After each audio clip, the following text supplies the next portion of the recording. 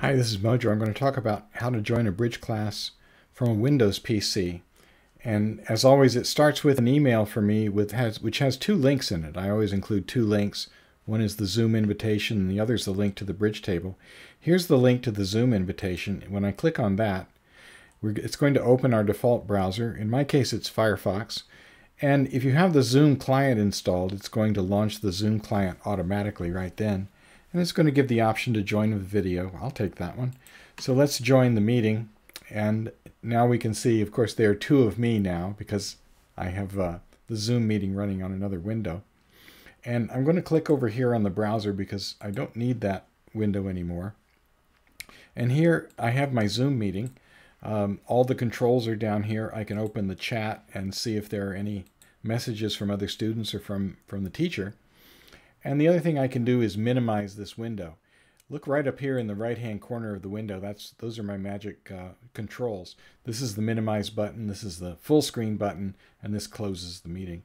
So I'm going to minimize it and you can see that my head just turns into a little, a little window which I can drag around the screen and I can put wherever I want.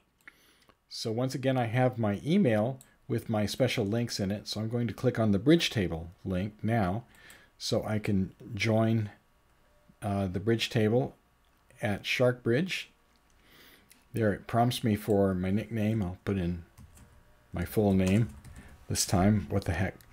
And uh, join the classroom. Now, um, the teacher's going to seat me. That would be me. Let me do that right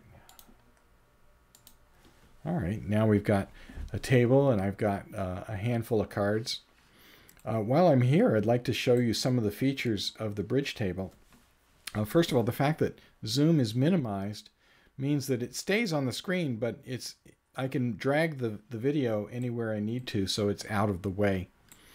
And um, I wanted to show you some controls on the bridge table um, that might interest you while you're eh, playing a game. And these are uh, personal to you. See this little icon, the little gear icon in the upper left corner of the bridge table. If I click on that, then I have a lot of choices of things I can do. I can change the suit order or the suit colors. I particularly like um, red black myself. I'm not fond of green and orange minor suits. You can change the highlight by current player. I recommend having all three of these checked because uh, I want as many ways to see who the current player is as there can be. I want to show you some of these. These are kind of fun. Uh, if I close this, this is the standard layout for cards.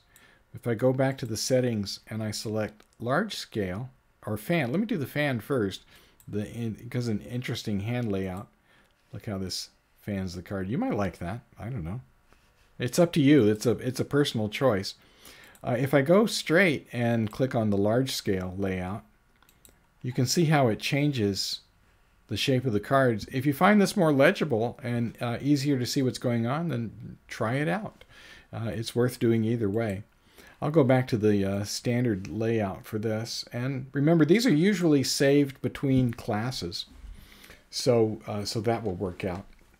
Now, oftentimes in a class, I will uh, create a breakout room so you can join a table.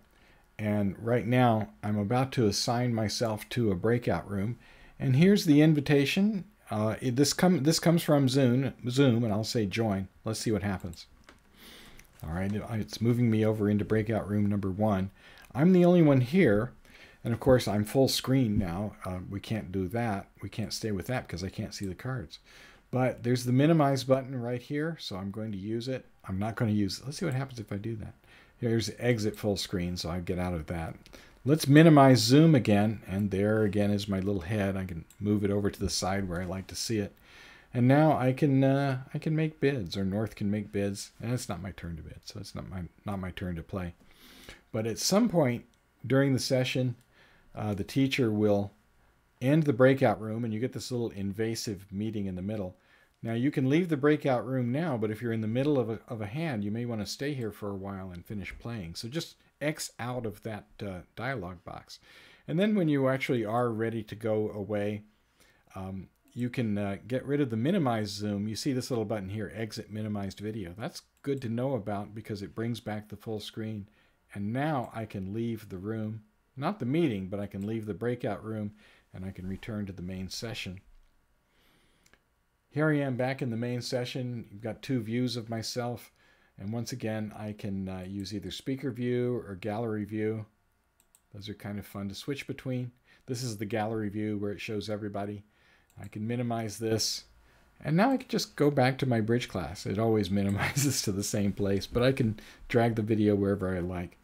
And once we're done, now I can I can log out of the bridge table, move my move my head over there. Yes, log out, please.